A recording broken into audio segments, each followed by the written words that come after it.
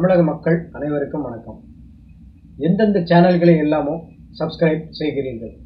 தரமான வீடியோக்களை பதிவு செய்யும் என்னுடைய சேனலையும் தயவு செய்து சப்ஸ்கிரைப் செய்து ஆதரவு அளித்தால் சேனலை அடுத்த லெவலுக்கு கொண்டு செல்ல உதவியாக இருக்கும்.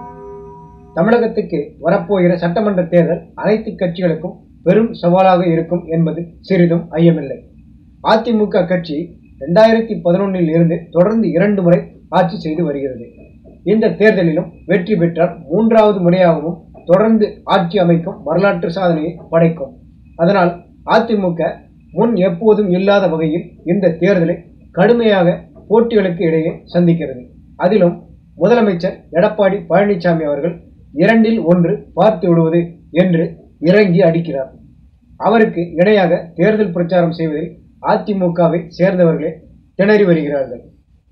அதேபோல் கடந்த பத்து வருடங்களாக ஆட்சியை பறிகொடுத்த திமுகவிற்கு இந்த தேர்தல் வாழ்வா சாவா நிலைமை. இந்த முறை எப்படியும் ஆட்சியை பிடித்து விட வேண்டும். அதனாலேயே போனால் போகிறது என்று திமுக தலைவர் ஸ்டாலின் முன்னூத்தி ஐம்பது கோடிக்கும் மேலாக பணத்தை கொடுத்து பீகார் நிறுவனத்துடன் தேர்தல் ஆலோசனைக்காக ஒப்பந்தம் செய்து கொண்டு தேர்தலை சந்திக்கிறார். அவருக்கு திமுக நிர்வாகிகள் மீதோ திமுக தொண்டர்கள் மீதோ நம்பிக்கை இல்லை. அதுபோல தமிழக மக்களையும் அவர் நம்புவதாக இல்லை. அதனாலேயே இப்படி ஒரு முடிவு. அதன்படி அந்த பீகார் நிறுவனம் கொடுக்கும் ஆலோசனைகளின்படி புதிது புதிதாக நிகழ்ச்சிகளுக்கு பெயரும் வைத்து தேர்தல் பிரச்சாரம் செய்து வருகிறார். அவருடைய இந்த நடவடிக்கை செயற்கையானதாக இருக்கிறது. ஒரு பரபரப்பு சூடு இல்லை என்பது ஒவ்வொரு திமுக தொண்டனின் கருத்து என்பது வேறு கதை. அவர்களுக்கே இது பிடிக்கவில்லை என்பது ஒரு கருத்து கணிப்பு. தேர்தல் தேதியை இன்னும் அறிவிக்கப்படாத நிலையில் ஸ்டாலினும் எடப்பாடியும் ஒருவரை ஒருவர் கடுமையாக தாக்கி பேசி தேர்தல் பிரச்சாரம் செய்து வருகின்றனர். கடந்த நாடாளுமன்ற தேர்தலில் திமுக செயல்படுத்த முடியாத வாய்ப்பே இல்லாத விஷயங்களை எல்லாம் தேர்தல் வாக்குறுதியாக கொடுத்து தமிழக மக்களை ஏமாற்றியது. நாற்பதுக்கு முப்பத்தி ஒன்பது வெற்றி பெற்றும் நயா பைசாவுக்கு பிரயோஜனம் இல்லாமல் போய்விட்டது திமுகவுக்கு. காங்கிரஸ் கட்சி மண்ணை கவியதால் மத்தியில் மீண்டும் பிஜேபியை ஆட்சி அமைத்தது. அதனால் திமுகவுக்கு ஜெயித்தும் தோல்வி அதிமுகவுக்கு தோற்றாலும் வெற்றி என்கிற நிலைமை ஆகிவிட்டது.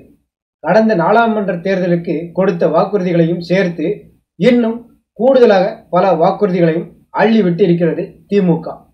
அதில் சில நகைக்கடன்களை தள்ளுபடி செய்வது கல்விக் கடன்களை தள்ளுபடி செய்வது விவசாயிகளின் கடன்களை தள்ளுபடி செய்வது மகளிர் சுய உதவி குழு கடன்களை தள்ளுபடி செய்வது.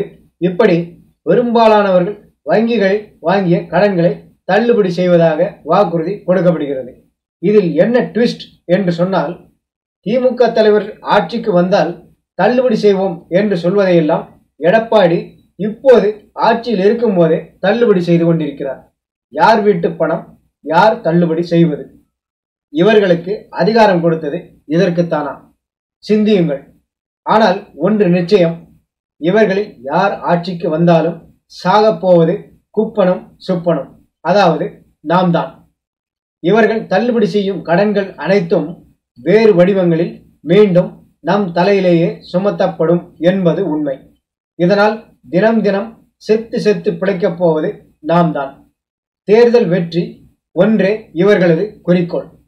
அதனால் சொல்கிறேன் எதற்கும் தயாராக இருங்கள்.